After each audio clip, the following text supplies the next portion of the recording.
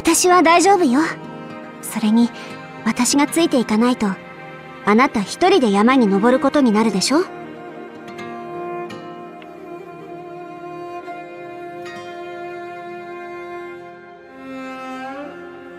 気になんてしてないから。私のために一生懸命やってくれてる人を一人で行かせて、暗鬼や寒さと戦わせるわけにはいかないでしょ？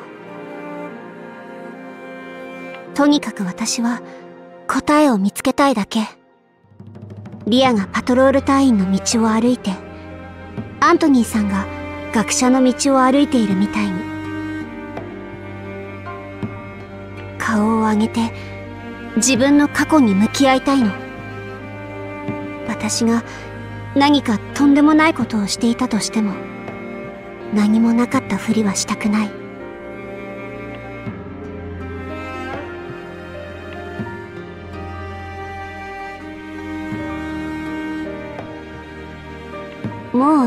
家に無事を知らせる手紙は書いてあるわ。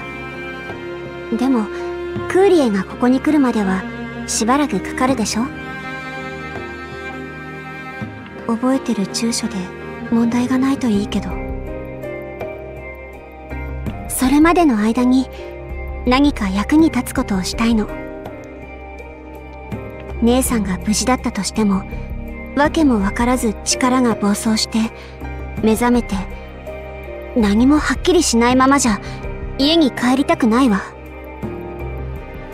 私ももう一度ここを調べて一体何が起きたのか理解したいの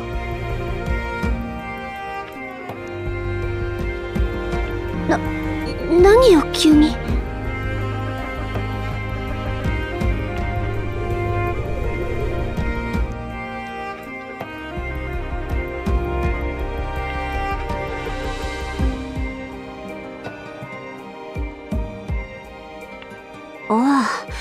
そのこと？辺境生まれにとっては見慣れた風景よ。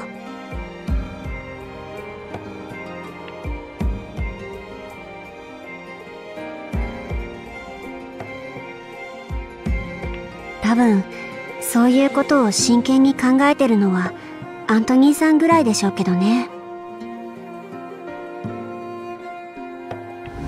東大の力がどこから来るのか、女王陛下がなぜ北境を守ってるのかなんて誰も考えないのと同じ。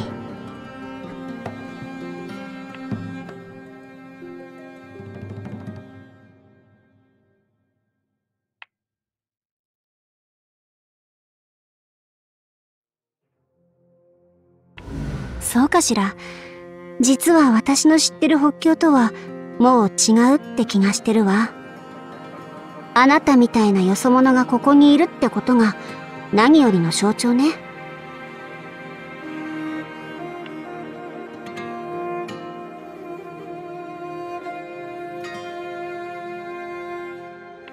空の末裔も外界との交流が少ないの？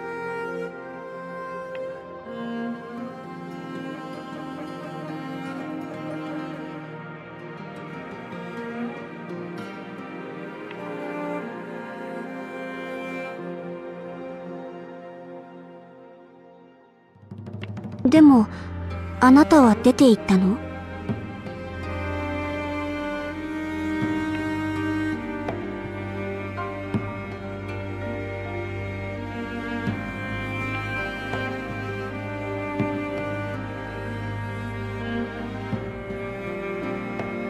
何ですって？あの伝説の空の末裔一族が滅びてしまったの。ごめんなさい。何も知らずにそんなことを思い出させてしまって。きっと孤独でしょうね。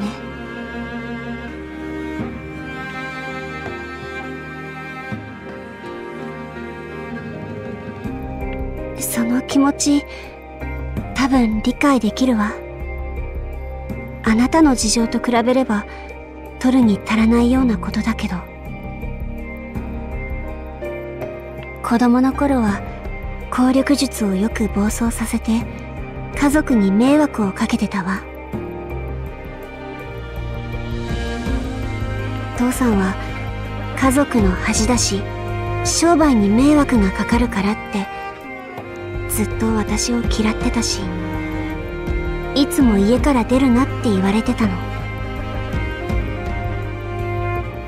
そのうち私も外の人と交流できなくなっちゃったの。友達もいないし自分から友達を作る勇気もなかったわ。今思えば氷に閉じ込められている時と何一つ変わってなかったわね。あなたもきっと辛いでしょう。一りぼっちで仲間が一人もいないなんて。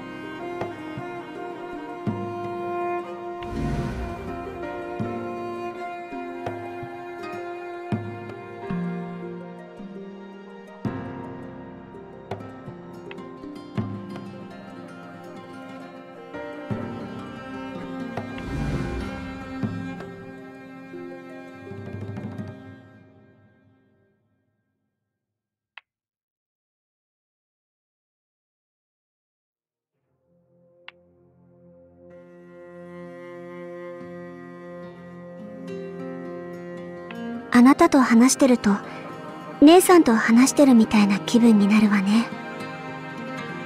姉さんもあなたと同じように優しくて強いの。私だけ。私だけがいつも間違った選択をして人を怒らせちゃうの。私もあなたみたいだったらよかったのに。そうすれば父さんには嫌われず姉さんに置いていかれることもなくて氷の中に閉じ込められずに済んだのに。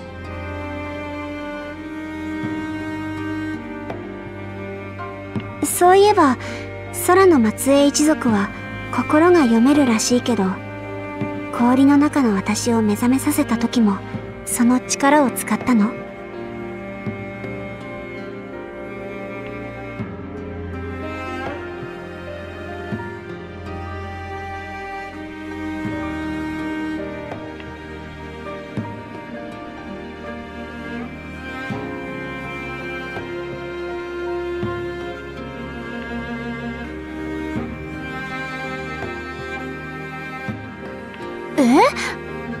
私からしたらあなたの方こそおかしいわ。聞いたこともないものが多すぎるし。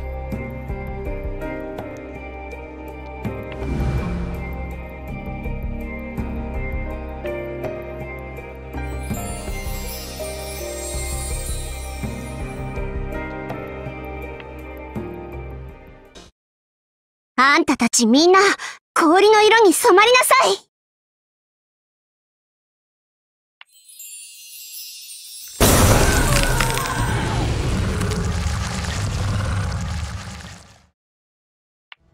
楽勝ね。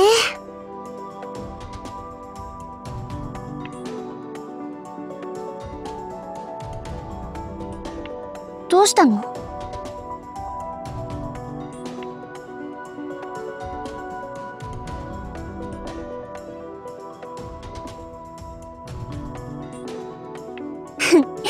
だったらいいじゃない。異常な効力でもそんなに役に立つならいっそこのまま残っていてほしいわ。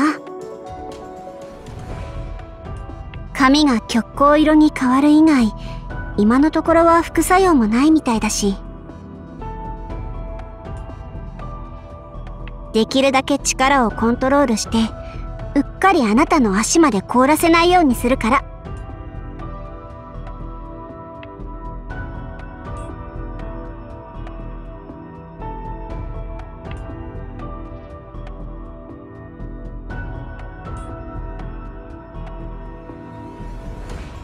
なんでそんなに怖がってるのよ。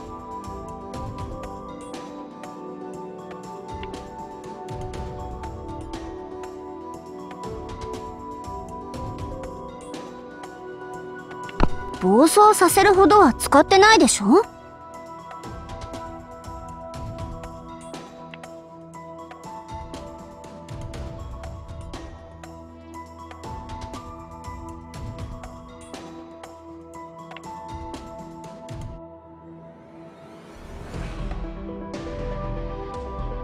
私。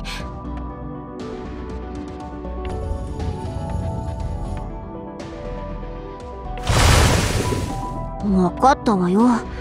調子に乗りすぎてたのは認めるわ。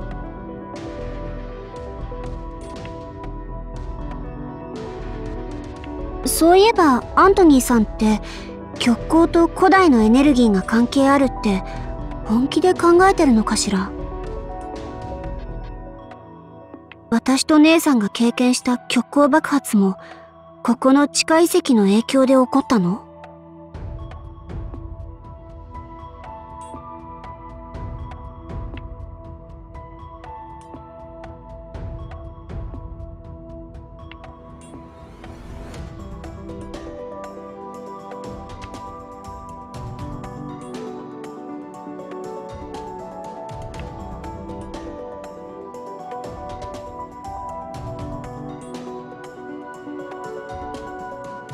いつだろうと今はもう跡形もないわ。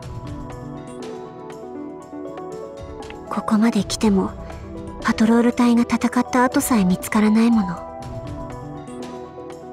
私の記憶ってそこまであやふやになってるのかしら。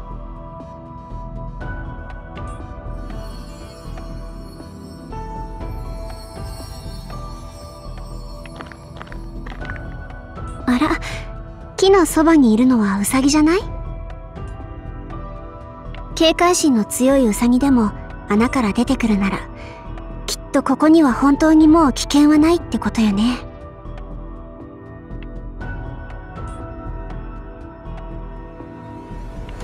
はあまた？本当に何かあったら感知したものを倒すのは任せておいて。